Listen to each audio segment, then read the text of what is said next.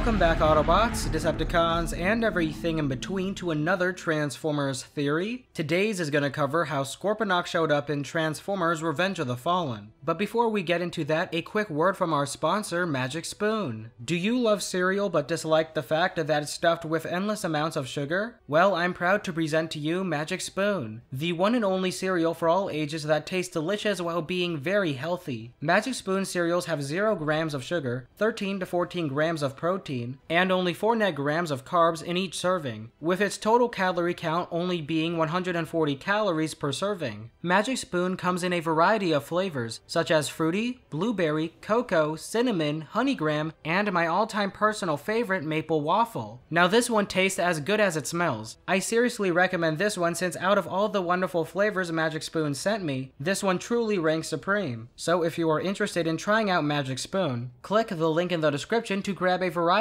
pack and try it today. And be sure to use the promo code TRANS at checkout to get $5 off any order, or go to magicspoon.com slash trans. Magic Spoon is so confident in their product that it's backed with a 100% happiness guarantee. So if you don't like it for any reason, they'll refund your money back no questions asked. So click the link in the description below and use code TRANS for $5 off. Or go to magicspoon.com slash trans to save $5 today. Now for those of you who may not remember, Scorponok was Blackout's Minicon partner in Transformers 2007. During Blackout's attack on the US SOCCENT forward operations base in Qatar, Scorponok was deployed to seek out and destroy an escaped unit of soldiers under the command of Captain Lennox. After spying on them for some time, Scorponok fatally impaled Sergeant Patrick Donnelly and chased the soldiers to a nearby village where he would send a barrage of missiles at them. However, when Sergeant Epps called in his AC-130 kill streak, was too weak to keep on fighting and decided to bail. He wouldn't be seen again up until Transformers Revenge of the Fallen. During the battle in Egypt between the Autobots and the Decepticons, Scorponok jumped out of the sand when Jetfire was finishing off the Mixmaster clone, catching the Ancient Seeker off guard and severely wounding him. However, Scorponok did not live long enough to savor his success, since Jetfire managed to crush his head in with his fist, killing the Scorpion once and for all. Though Scorponok's inclusion in Revenge of the Fallen was very cool, it really doesn't make much sense, since the last time we saw Scorponok was during the final battle in Los Angeles, and not in the way you may expect.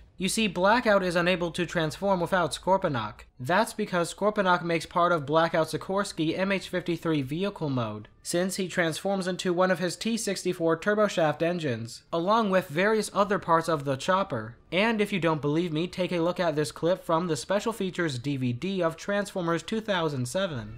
I, I wanted to have the, the, the notion of these components from the Sea Stallion helicopter, which is basically what he is birthed from. So he has these kind of Sea Stallion helicopter components to him, the turbines for his hands, and I wanted to see how these things could turn and how that he could dig in and then shoot the sand out. Now, you may be wondering why we didn't see Scorponok attached to his back during the final battle, since before he deployed him in Qatar, we could partly see his tail on Blackout's back. Now, though there is no official answer to this, I think the reason why we saw his tail there and not here is because during the raid on Qatar, Blackout had Scorponok on standby in case he needed to swiftly deploy him in order to take out any fleeing soldiers who could potentially alert the government of their existence, which is ultimately what he ended up doing. However, during the final battle, Blackout didn't need to worry about that happening, since at that point the government knew of their existence. Another question you may have is why Blackout did not deploy Scorponok when he was being attacked by Lennox and his crew. And, well, if you think about it, Blackout was more than capable of taking them out on his own since he was able to kill hundreds of military personnel with ease. He never got the chance to finish off Lennox's ragtag team since he was caught off guard by the missiles from the F-22s which ultimately killed him. In addition to that, Scorponok is only useful when he's in an environment that is open and has a lot of sand, and LA is the polar opposite of that. Among other things, the way he deploys could be fatal if he doesn't land in anything other than sand or water, since a swan dive into solid concrete could easily lead to death. So with all that squared off, we still don't know exactly how Scorponok got to Egypt. However, the last time we see Blackout's body gives us a clue. The last time we see him is when the military is dumping Megatron's body into the ocean. However, if you look at Blackout's body, it has been disassembled with several pieces missing. The same scenario goes for Megatron as well, but he is only missing an arm and a leg. Now, you may be wondering why this is important, and that's because Scorponok's last known location was inside of Blackout. So depending on where Blackout was dismantled, we can figure out where Scorponok ended up. A common theory is that Sector 7 were the ones responsible for dismantling the cons, but we know this isn't the case since after the battle in LA, President Bush ordered the termination of Sector 7, and for the remains of the dead aliens disposed of in the Laurentian Abyss. So with that said, it wasn't them. However, we do know that sometime after the Battle of LA, the Non-Biological Extraterrestrial Species Treaty, also known as NEST, was set up under William Lennox to create a combined human Autobot defense force against Decepticons. And since they were the only organization at this time that was familiar with Cybertronians and their technology, I think it would be safe to say that Nest were the ones responsible for the dismantling. So based upon that, we can confidently say that Scorponok ended up at Nest, since Blackout's body was dismantled there. But now the question is how did he exactly get out of Blackout? But to answer that, we need to find out why Scorponok did not eject out of Blackout when he died. The best possible explanation that I could think of is due to the immense trauma Blackout's body took. It puts Scorponok into stasis lock, which is a sort of coma that allows a Transformer to survive, running at the lowest level of power despite massive energy loss or traumatic damage. This scenario happened to Optimus Prime in Transformers Age of Extinction. After an encounter with Lockdown and Cemetery Wind in Mexico City, Optimus Prime went into stasis lock in order to heal himself. He was only broken out of it when Cade Yeager tampered with his internal mechanics causing him to be reactivated. I think when the Nest soldiers were dismantling Blackout, the vibrations of the machinery caused Scorponok to be reactivated, causing him to dig his way out of Blackout's body. This could also serve as an explanation to why Blackout's body was more torn up than Megatron's, since Scorponok burrowed his way out of it. However, I think he would end up being captured shortly after this incident, and I have evidence to back this up. In Revenge of the Fallen, Nest was able to make the twins transform in a weird way, where this electricity morphed them between modes. I think this was a result of Nest experimenting with the concept of making two Cybertronians transform into one vehicle, hence why the twins were merged together as an ice cream truck. The reason why Nest would go on to give them two separate vehicle modes is because this experiment failed when the twins separated when trying to chase sideways. However, I think the reason why Nest was able to pull this off is because they studied Scorponok's unique ability of being able to transform into part of Blackout's vehicle mode and wanted to replicate the unique ability of two Transformers becoming one vehicle for themselves. And this isn't the first time Scorponok has been studied, since in the 07 film, Lennox and his crew studied Scorponok's tail and found out what ammunition did the most damage to Cybertronians, leading them to have a fighting chance against the Decepticons.